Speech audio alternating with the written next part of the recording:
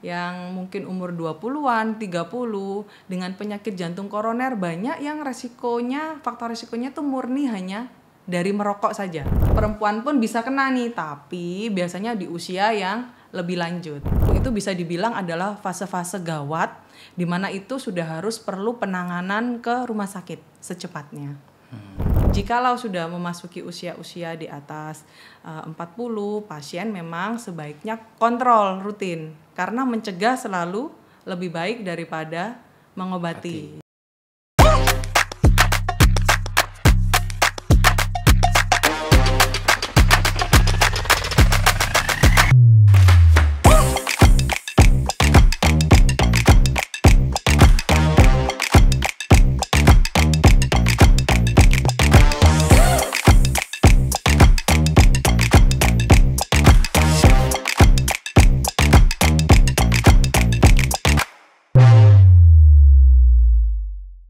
Halo semuanya, selamat datang di Portcon, Podcast Corner, podcast kesehatan yang paling hits dan asik. Bersama saya Dr. Angga, host yang akan menemani kalian. Hari ini adalah edisi spesial podcast, yaitu merayakan Hari World Heart Day atau Hari Jantung Sedunia. Kita tidak cuma bicara masalah jantung, tetapi bagaimana caranya agar jantung kita itu happy dan juga tidak baper. Bayangin aja kalau jantung kalian itu ngambek dan tiba-tiba diem beberapa menit. Pusing nggak kalian? Nah, telah hadir di sini Dokter Anita, spesialis jantung pembuluh darah dari RSUD SLG. Halo dok. Halo Dokter Angga. Halo. Apa kabar? Baik, luar biasa dok. Ya, hari ini kita akan membahas tentang jantung ya. Nah, apa sih dok penyakit koroner jantung itu? Sama nggak bedanya dengan serangan jantung?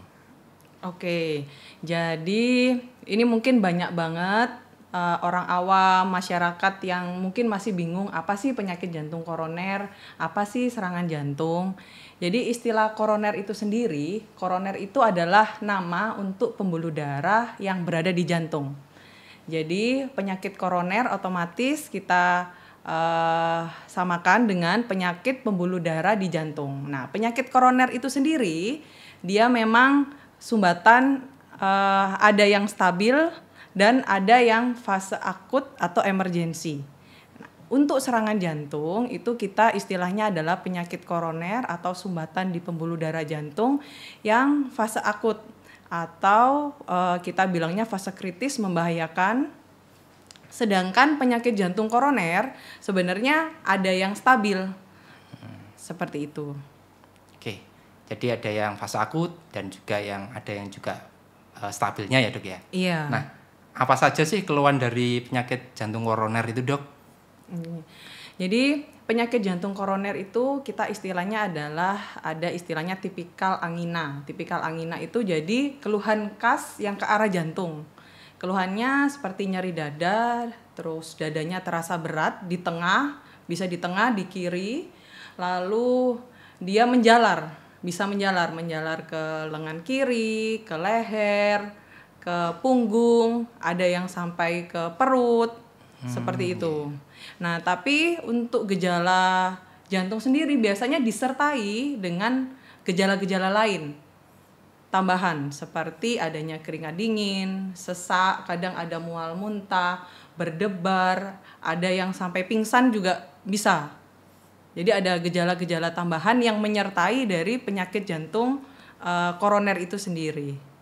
Saya sendiri juga uh, sering dok berdebar-debar kalau uh, konsul pasien pasiennya kondisi jelek itu juga saya juga berdebar. Oh gitu ya, sama berarti. yang terima konsulan juga deg-degan.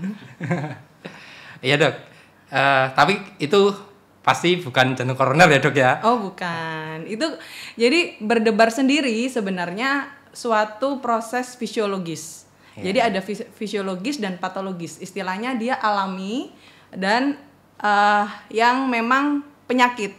Kalau yang alami, kalau kita ketemu pacar nih, oh, deg-degan, yeah. Yeah, yeah. ya kita dimarahin atau mau ujian, itu kita juga deg-degan. Mm -hmm. Nah, tapi berbeda dengan berdebar yang uh, dengan penyakit jantung ini. Okay. Biasanya dia uh, ada tambahan keluhan lain selain Hmm. berdebar. Ya seperti tadi nyeri dada, sesek, ada mual muntah dan lain-lain. Eh, selanjutnya, kapan kita khawatir eh, terdapat serangan jantung? Oke. Jadi ini banyak sekali pasien yang mungkin juga masih masih khawatir ya, apalagi di zaman sekarang di eh, kabar-kabar sekarang kan banyak sekali pasien-pasien yang tiba-tiba nyeri dada terus rupanya serangan jantung bahkan sampai meninggal. Jadi awareness dari pasien tuh sekarang semakin tinggi. Jadi pasien nyeri dada datang, wah saya ini serangan jantung atau enggak? Saya sakit jantung atau tidak? Nah, yang tadi saya sebutkan bahwa ada istilahnya penyakit jantung koroner stabil. Apa itu stabil? Jadi dia memang ada keluhan khas di jantung seperti nyeri dada atau mungkin dia rasa berat di dada. Eh, namun dia stabil, keluar sebentar, terus dia hilang sendiri. Saat istirahat dia juga membaik. Kita bilangnya stabil. Tetapi ada kondisi khusus yang kita agak khawatir jikalau pertama jika nyeri dadanya persisten persisten tuh berapa lama 20 menit biasanya kalau nyeri terus-terusan wah ini kok nyerinya nggak selesai-selesai lebih dari 20 menit nah kita sudah khawatir Terus yang kedua istilahnya adalah de novo atau yang pertama kali. Sebelumnya tidak pernah ada keluhan sama sekali, namun tiba pasien itu mengalami suatu keluhan nyeri dada ataupun sesak mendadak yang sebelumnya tidak pernah. Yang ketiga ada istilahnya crescendo atau progresif. Jadi sebelumnya dia sudah ada nih keluhan nyeri dada. Mungkin uh, kecil masih kecil tapi uh, membaik dengan istirahat terus hilang sendiri. Biasanya pasien tidak ke dokter, tidak mencari penanganan. Namun suatu saat tiba-tiba nyerinya atau dada beratnya itu semakin bertambah berat di suatu waktu. Lalu yang keempat ada istilah namanya angina pasca infak atau dia nyeri dada yang terjadi setelah memang pasiennya itu sudah ada riwayat serangan jantung di dua minggu sebelumnya. Nah, kalau ada empat kondisi seperti itu, itu bisa dibilang adalah fase-fase gawat, di mana itu sudah harus perlu penanganan ke rumah sakit secepatnya. Lumayan banyak juga ya dok ya. Nah, saya sepertinya pernah tahu dok itu untuk menunjang, untuk mencari tahu gejala-gejala tersebut kita pakai aplikasi ya dok ya. Mungkin bisa di spill dok aplikasi apa seperti dok. Jadi sekarang di zaman sekarang orang-orang semakin kritis sudah bisa buka apa sosmed sendiri. Iya, iya. Jadi banyak searching namun biasanya eh dari materi atau teori yang di sana ilmu-ilmunya itu kan terlalu luas. Kadang juga dari A, B, C, D. Wah, ini mana yang benar? Nah, untuk eh, Word HD kali ini memang ada aplikasi yang bisa di-download di eh, store, Store. yaitu Detaksi di mana jikalau pasien mengalami suatu nyeri dada eh, dan bingung apakah ini nyeri dada saya harus nih ke rumah sakit atau ini aman saya bisa di rumah aja. Nah bisa dengan aplikasi Detaksi. Seperti itu dok. Nah untuk penyakit jantung sendiri itu eh, faktor resikonya apa saja dok? Yang mungkin bisa menyebabkan sakit jantung atau memperberat sakit jantung seperti itu dok. Oke. Ini saya spesifikkan untuk penyakit jantung koroner dulu ya dok, Oh, iya. karena ada beberapa memang penyakit jantung yang uh, faktor resikonya berbeda. Untuk penyakit jantung koroner, pertama yang tidak bisa kita ubah adalah usia. Jadi semakin kita semakin tua atau semakin kita berumur, memang resiko untuk terjadi suatu penyakit jantung itu semakin meningkat. Tapi harus digarisbawahi bahwa semakin zaman saat ini semakin lama itu yang sakit jantung tambah lama tambah muda.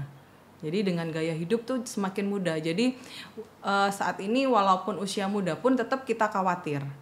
Yang kedua ada hipertensi, ketiga merokok, keempat kencing manis atau diabetes, kelima kolesterol tinggi, yang keenam adalah gaya hidup atau sedentary lifestyle, Dok. Main berapa banyak juga ya faktor resikonya. Nah eh, dari sekian banyak faktor resiko itu eh, mungkin kita pernah ya mungkin mengidap kencing manis lah atau seperti itulah. Nah apakah itu eh, kalau faktor resikonya hilang, apakah kita bisa sembuh atau gimana dok? Ini banyak yang pasien juga sering menanyakan ya, wah ini saya ada kencing manis dok, terus saya ada sumbatan jantung. Kalau misalnya kencing manis saya sembuh gimana? Nah, untuk kencing manis sendiri memang targetnya dari eh, untuk penyakitnya sendiri untuk dibilang sembuh memang HbA1c harus kurang dari 6,5. Tetapi itu harus digarisbawahi apakah pasien itu terkontrol baik dengan obat. Hmm, Ya. Jadi ada yang pasien ngiranya, oh saya sudah normal dok, tapi sebenarnya terkontrol baik dengan obat.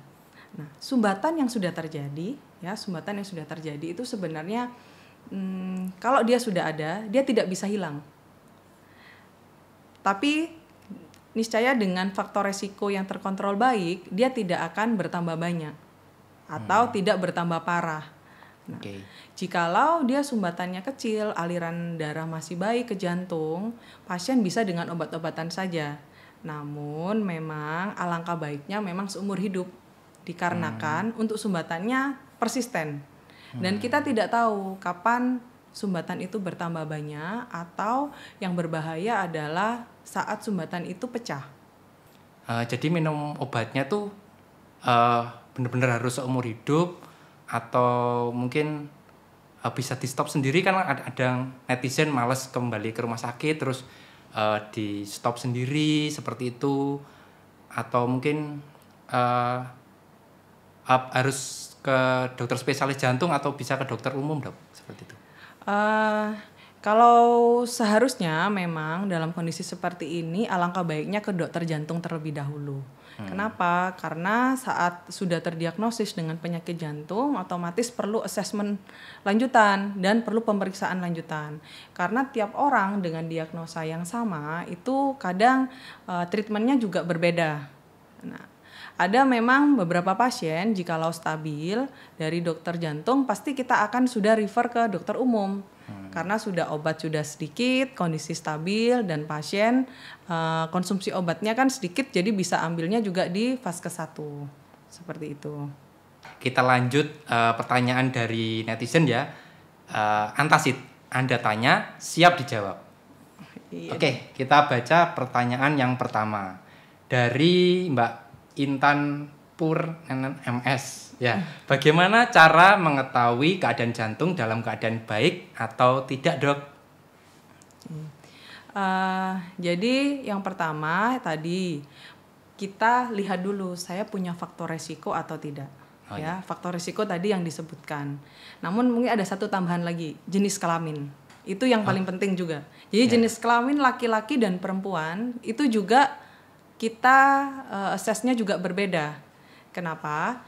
Kalau perempuan memang eh, di saat kurang dari 50 tahun itu memang jarang untuk penyakit jantung koroner. Jarang bukan berarti tidak ada. Jarang karena dia ada hormon hormonal yang eh, masih baik untuk pembuluh darahnya. Berbeda jika laki-laki.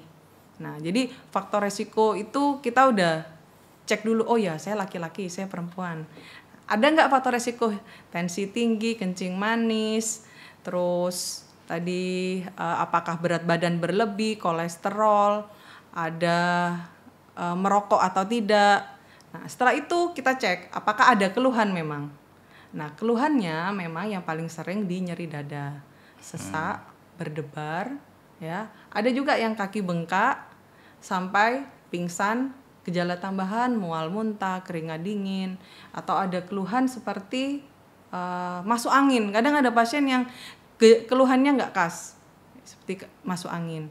Nah, jikalau memang tidak ada faktor resiko, tidak ada keluhan, kita aman mungkin ya. Bisa kita, oh ya kondisi jantung saya mungkin baik.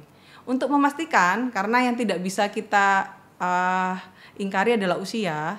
Jadi jikalau sudah memasuki usia-usia di atas eh, 40, pasien memang sebaiknya kontrol rutin karena mencegah selalu lebih baik daripada mengobati. Jadi memastikan oh ya saya tidak ada ini ini ini oke aman. Jadi selanjutnya eh, mungkin kontrolnya bisa satu tahun ataupun tiga tahun sekali seperti itu. Tapi jikalau ada keluhan yang saya sebutkan tadi, memang alangkah baiknya langsung ke dokter jantung. Ya, ya banyak juga ya. Faktor risiko juga ada. Eh, dari kelu- keluhan-keluhan ya juga ada. Faktor risiko berupa usia, usia lanjut ya dok ya, bener ya dok ya, sama jenis kelamin laki-laki ya juga lebih banyak. Tapi bukan berarti kalian ganti kelamin jadi dari laki-laki menjadi perempuan loh ya, jangan salah sangka seperti itu loh ya. Jadi ya memang faktor risiko ada berbagai macam ya. Dari usia, jenis kelamin, mungkin kencing manis dan lain-lain. Uh, mungkin tambahan dok, kalau Apalagi, Dok? perempuan memang seringnya kalau penyakit jantung koroner, terutama itu udah di atas umur 50. Oh, Menopause itu sudah mulai kita memikirkannya untuk epidemiologinya sama dengan laki-laki. Oke. Jadi perempuan pun bisa kena nih, tapi biasanya di usia yang lebih lanjut. Oke. Seperti itu. Oke, pertanyaan selanjutnya. Apakah kolesterol yang tinggi bisa memicu penyakit jantung, Dok? Oh ya, ini kalau pertanyaannya ini jawabannya langsung dengan tegas yes, iya. Jadi salah satu faktor resiko dari penyakit jantung, terutama penyakit jantung koroner adalah kolesterol tinggi, terutama LDL, ya, terutama LDL dan sekarang trigliserid. Jadi dua dua itu kita perlu eh, hati-hati ya dok. Oke, kita garis bawahi LDL dan trigliserid. Oke. Lanjut pertanyaan selanjutnya. Dari Kaisar. Ada hubungannya enggak ya antara merokok dan penyakit jantung? Nah, ini biasanya para laki-laki pembelaan ini ya. Ah, enggak apa-apa merokok gitu. Padahal ya ya gimana, Dok? Jadi kalau ditanya apakah ada hubungan, hubungannya sangat erat. Oh ya. Jadi hubungannya sangat erat, di mana memang merokok ini menjadi faktor resiko yang eh, tinggi untuk terjadi suatu sumbatan koroner.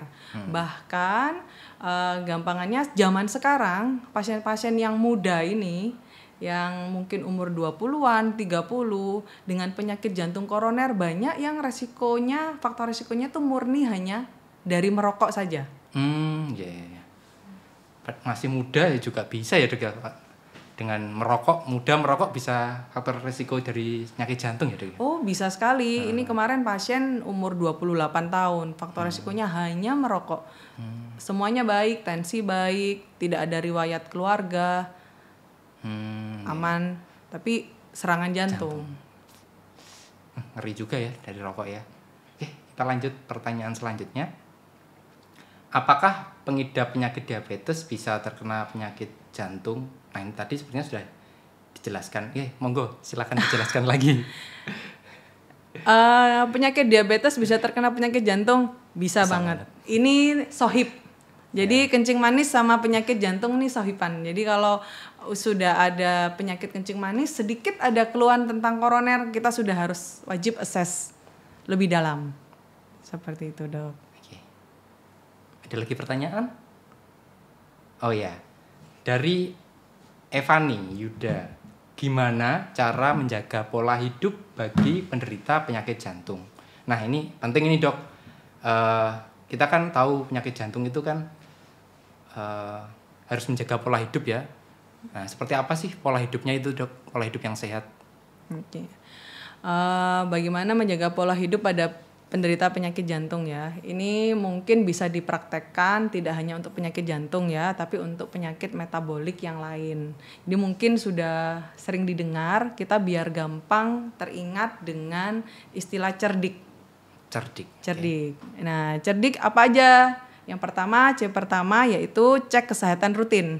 Cek kesehatan rutin. Jadi sebelum terjadi apa-apa kita sudah aware, kita cek kesehatan rutin mulai dari tensi, kita cek apa kita obesitas, berat badan, lalu eh, selain tensi mungkin bisa cek darah, kolesterol dan lain-lain sebelum itu terjadi ada keluhan.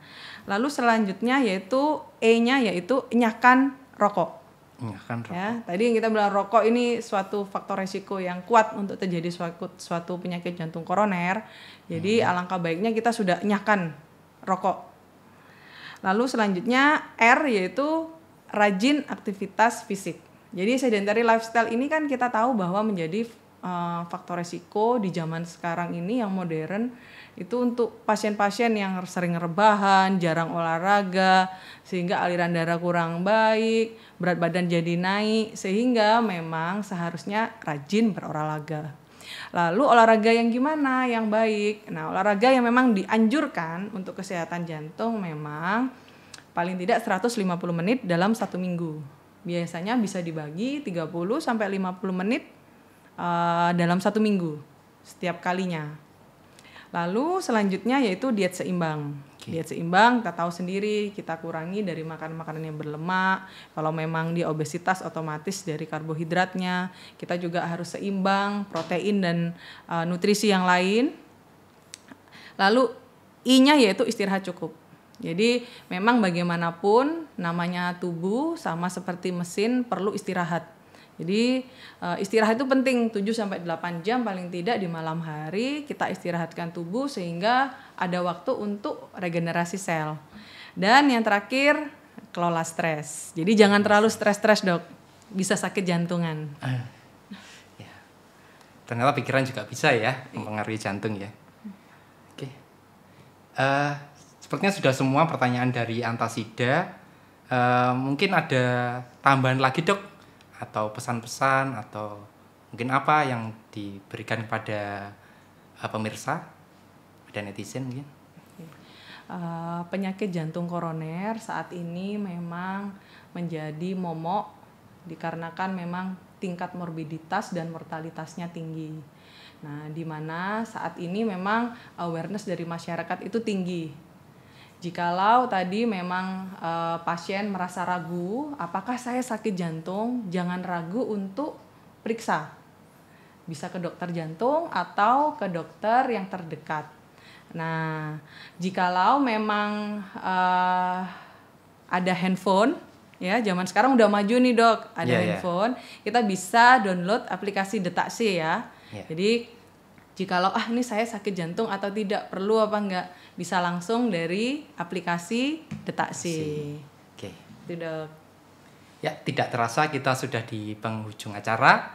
Uh, semoga teman-teman sekalian terinspirasi supaya menjaga jantung kalian lebih sehat. Terima kasih sudah mendengarkan dan sampai jumpa di video selanjutnya. Bye bye.